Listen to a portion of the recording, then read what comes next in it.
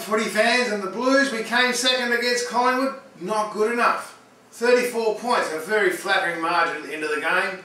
And the simple fact of the matter is, kicked eight goals in the last half, but we were completely outcast by a far better side.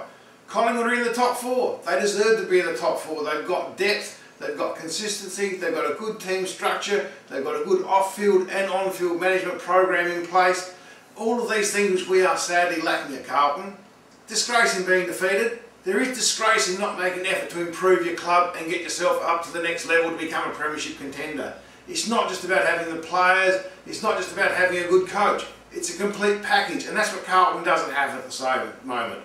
We are simply shattered. We're still pulling ourselves in from pieces that have been scattered to the winds over the past two decades.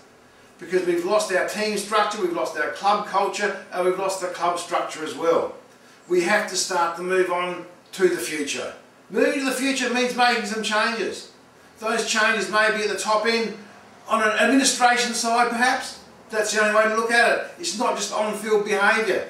It's performance across the board as a club. It's not just about making profit. We are a business, we're a corporation, we're a football club with a team that we want to see playing and winning as fans.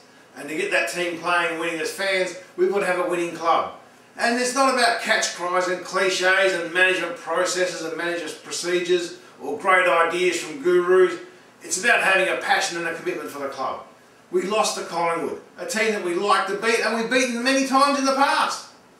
To lose by 34 points did make it look respectable.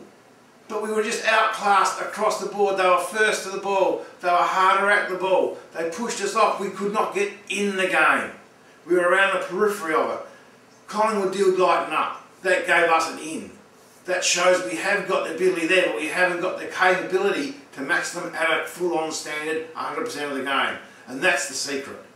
That's the simple thing we're working towards. And it's going to take time.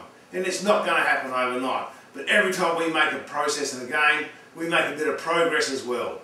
Go you Blues and bring on September!